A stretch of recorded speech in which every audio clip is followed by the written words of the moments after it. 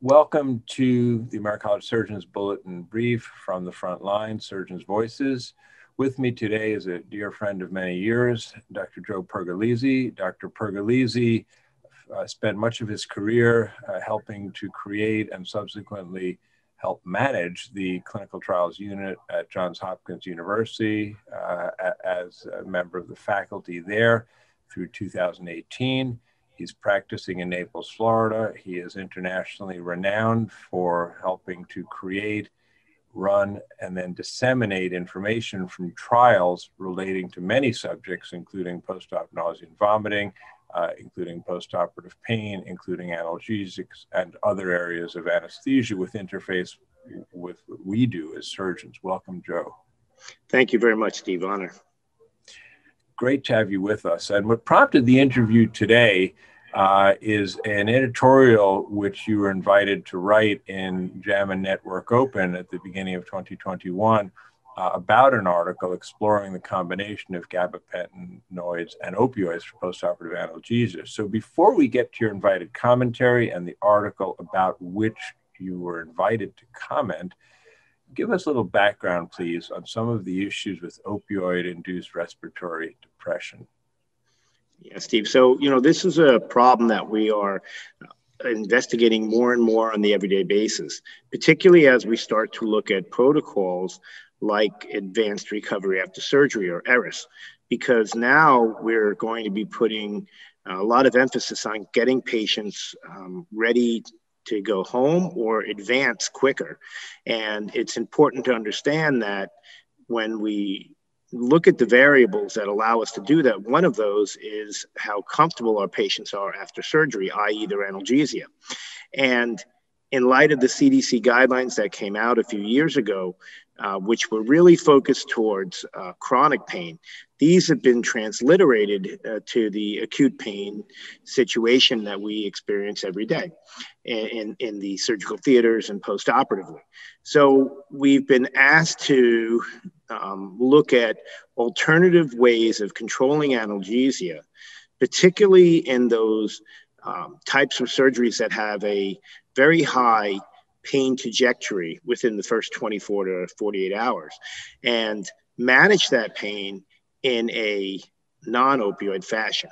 And that can be very difficult because, you know, opioids um, for postoperative pain are indicated for moderate to moderately severe um, pain as, a, as monotherapy.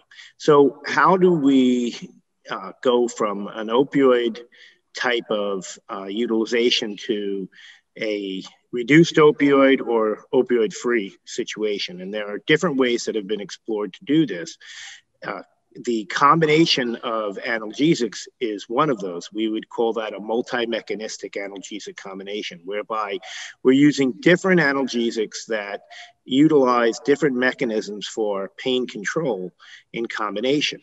And this itself opens up uh, a whole entire exciting um, myriad of opportunities for researchers, particularly our younger researchers who, I love to encourage to think about these things.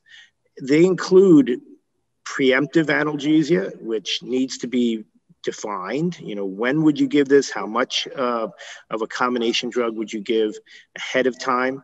Um, and they include perioperative use, so um, during the procedure or just after the procedure as well.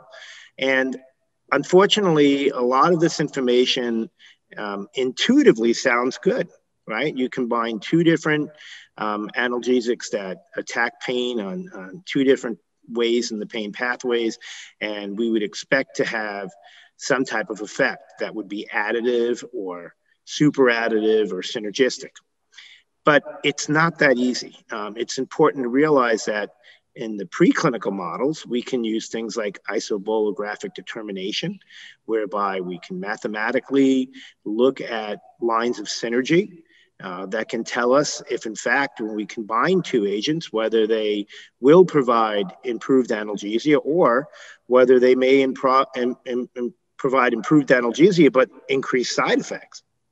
We don't want to be improving analgesia at the risk of uh, patients having more potential side effects. And that's why it's important to really look at the data when it's presented in various articles to see if we are merely decreasing opioid consumption um, or decreasing opioid consumption, improving analgesia, and um, minimizing or mitigating the side effects. In true combination therapy, multi-mechanistic analgesic combination therapy, the goal is to be able to reduce the dose of each of the agents by about a log value and combine them so that the combination of these two agents would be equal to the effect of either agent alone.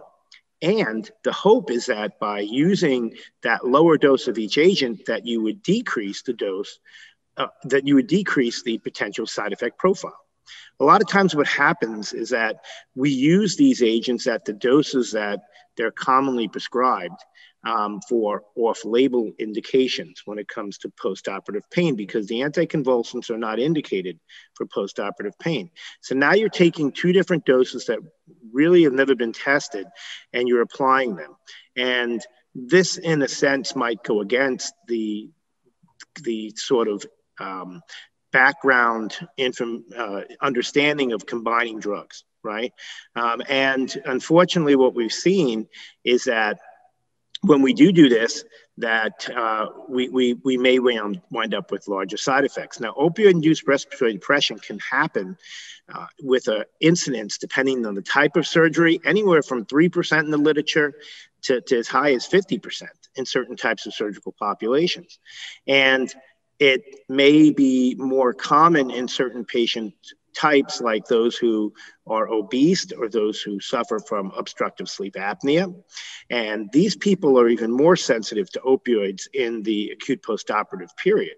So it's important that as we try to move away from opioids and we still try to maintain adequate analgesia, particularly for the high pain trajectory um, types of surgical procedures, that we consider what the impact uh, will be on uh, frequent or common types of postoperative complications. So opioid-induced respiratory depression is a real problem. Um, there are uh, measures in the hospitals that try to address this, and it's, I think, part of what others like TJ Gan under Stony Brook, um, some of the surgeons uh, in the American College are also looking at incorporating those type of endpoints into an ERAS system so that we can advance patients, but we're advancing them appropriately and safely. Thanks very much. Outstanding explanation. Uh, it did raise a few questions. The, the first of which is perhaps you could describe for us the preemptive analgesia. Yeah, that's a great question, Steve, because, you know, some people would say, well, you know, what if we give the drug you know, a week ahead of time. Uh, so, example, there are some, I think, very decent studies that have looked at giving a gabapentinoid um, up to a week or even two weeks before, let's say, thoracic surgery, major thoracic surgery. And these type of preemptive analgesic models um, need to be very well defined and very well um, classified for what type of endpoints we're looking at. The question about preemptive analgesia is that's still not determined is if we start at a certain date or a certain time before surgery, how long do we continue it after surgery? And a lot of times these studies have looked at initiating uh, preemptive analgesic uh, therapy with um, non-traditional uh, uh, postoperative uh, analgesics or acute uh, pain uh, analgesics. And they have never really looked at continue them through surgery and then even towards uh, the, the postoperative recovery period. So there's a paucity in the data right now, and there's still some questions about what the proper preemptive analgesic technique would be. And that's why I think, to my knowledge, there are no analgesics that are approved for preemptive analgesia. But it makes a lot of sense. I mean, it's something that we need to be looking at. But how do we exactly do that? Um, there are some very good studies that looking look at uh, placing, um, doing either interventional uh, pain procedures for those same thoracic uh, surgical candidates. You know, before surgery, just before surgery in, in the in the holding area. There are some that would look at doing um, thoracic epidurals. And the question is, when do you do it? What's the regimen and how long do you continue it? Because that's ultimately how you're going to figure out if the preemptive analgesic worked. It's not just um, in the acute uh, period, uh, right after in the PACU, but all the way through. So designing those trials um, and uh, getting a, a, methodology that will allow you to uh, implement them um, is still something we struggle with. And that's why, again, to my knowledge, there are no analgesics that have a preemptive analgesic indication in their label. Okay, thanks very much. Uh, there are other agents that are routinely used within the ERAS protocols, and, and separately, we're going to be having some conversations uh, for this series about ERAS protocols.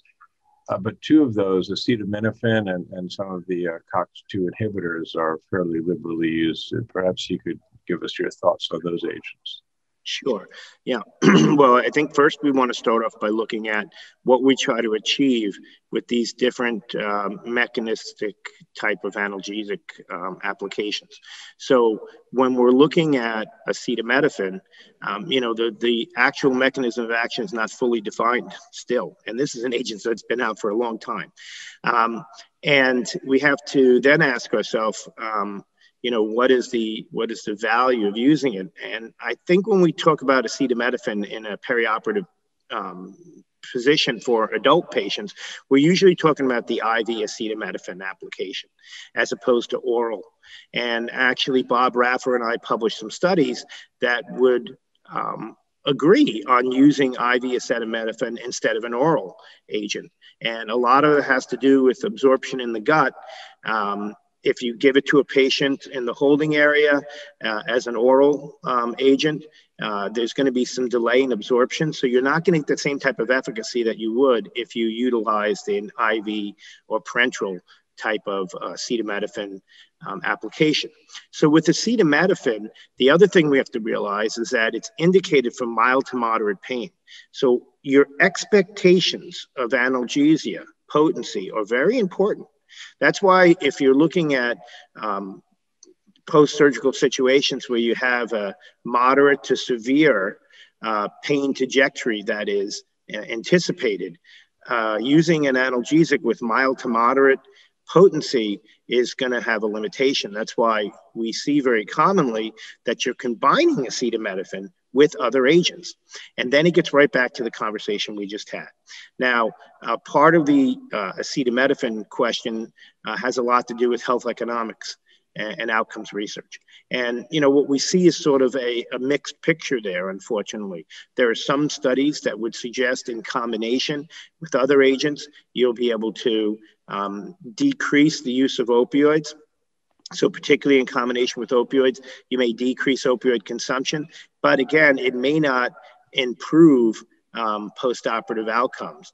Um, so, it it's still to be determined. I think, from my own uh, feeling, uh, it has shown to be useful in the reduction of opioid consumption.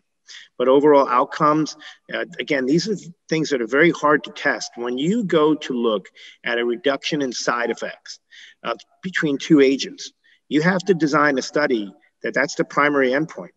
And if the incidence of that adverse event is two to 3%, then you're going to have a very large sample size, right? And that's what the uh, limitation for some of these studies are. And it's not just us in the clinical world that are struggling it, but that includes our regulators, even at FDA. If you notice, you haven't seen an analgesic with an opioid sparing, right, indication because that would mean in the literal sense that it's not a reduction in opioid consumption but it's reduction in opioid related side effects. So that's why we haven't seen those type of indications with the analgesics either the new ones or the repurposed ones. When we look at the cox2s again this is a very exciting area. When the before 2006 when we had the if you want to call it cox2 dilemma where you had certain agents that were um, uh, um, removed from the market by the sponsors.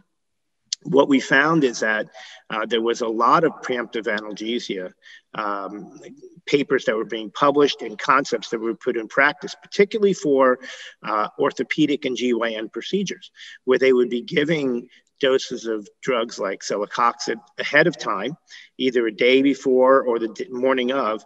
And then the hope would be to use less um, opioids in the entire procedure. So again, an opioid sparing model that a lot of times um, was miscategorized because it really should have been a, a, decrease in opioid consumption.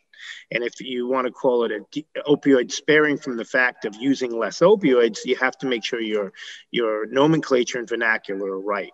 So here, what we have seen though, again, is this trend, and it, it seems to make intuitive sense that using uh, non-steroidal anti-inflammatory, um, whether it's selective or non-selective, um, like a COX2, um, would make sense. And again, I think we, we just don't see uh, absolute definitive trial and type A studies, meaning large randomized double-blind placebo-controlled with greater than 100 patients in each arm that are focused at just looking at the reduction in adverse events. So this, the, the studies are still needed. I think in a practice sense, it does make a lot, it makes a lot of intuitive sense to do it, but we just have to make sure we're picking the right patients, right? Um, and that we are uh, following um, our own internal protocols uh, and measuring these type of outcomes. And real world evidence now is becoming even more important, Steve.